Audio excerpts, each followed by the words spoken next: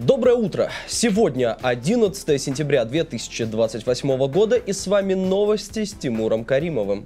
После того, как в очередной раз встал вопрос об отсутствии свободных мест в детских садах, группа депутатов «Единая Россия» внесла в Государственную Думу законопроект о полном запрете детей дошкольного возраста.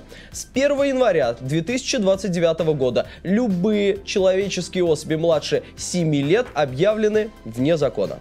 Если у граждан будут обнаружены дети пред 7-летнего возраста, им выпишут предупреждение и в случае, если в двухнедельный срок ребенок не достигнет необходимого возраста, семья в полном составе будет отбывать срок до 6 лет лишения свободы в колонии строгого режима. Как прокомментировала эту инициативу Елена Мизулина, заодно там и повзрослеет. Ну а теперь к новостям экономики.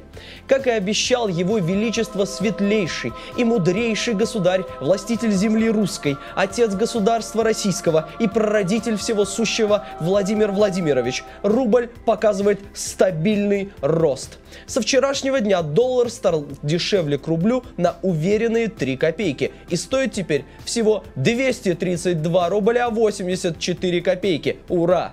В храме Христа Спасителя также провели молебен по рублю, и патриарх заверил, что завтра доллар с Божьей помощью подешевеет еще минимум на полторы копейки.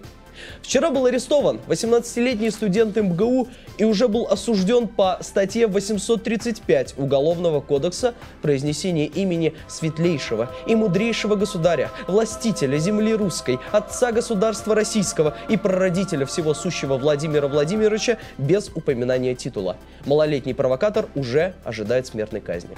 Также по 912 статье УК РФ «Вызывание внутреннего неприятия у сотрудника полиции» многодетная Молодая мать получила 14 лет за кормление лебедей на Патриарших прудах.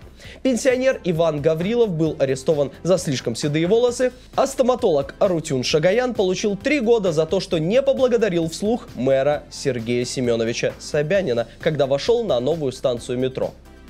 Ну а теперь к новостям высоких технологий. Новый фитнес-браслет разработали в Сколково. Благодаря встроенному микрочипу браслет умеет не только считать калории, но и считывать пульс вашего сердцебиения. Когда кто-то рядом произносит слова «Единая Россия», «Крым», а также «Чечня», в случае, если пульс не будет совпадать с пульсом влюбленного человека, все данные будут отправлены в ФСБ для последующей профилактической беседы с нарушителем.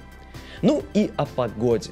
Завтра в Москве ожидается до 20 градусов мороза, но как нам только что сообщили из Министерства счастья и любви, жаловаться на погоду запрещено. И все люди должны улыбаться и вести себя так, как будто на улице тепло. Нарушителей в теплой одежде будут задерживать, а грустных людей разрешено избивать до появления улыбки на лице. С вами был Тимур Каримов с новостями на канале Солнцеликий ТВ.